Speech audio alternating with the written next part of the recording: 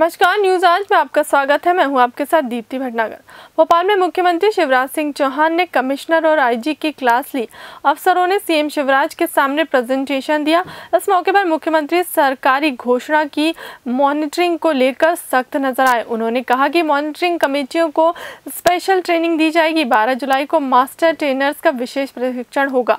बीस से बीस जुलाई तक जिला टास्क फोर्स की ट्रेनिंग होगी। उन्होंने संबल योजना के क्रियान्वयन को लेकर भी अधिकारियों को निर्देश दिए। इस मौके पर मुख्यमंत्री ने कहा कि गरीब को उसका जायज़ हक मिलेगा।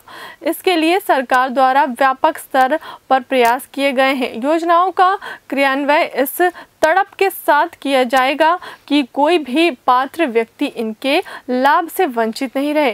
क्रियान्वयन पंचायत स्तर तक प्रशासनिक कसावट के साथ हो। मुख्यमंत्री ने मंदसौर की घटना के अपराधी को जल्द ही से जल्द दंड दिलाने के लिए सजगता के साथ प्रयासों की ज़रूरत बताई।